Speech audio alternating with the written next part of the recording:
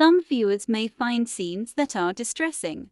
Viewer discretion is advised. The best 1 minute and under news channel on TikTok.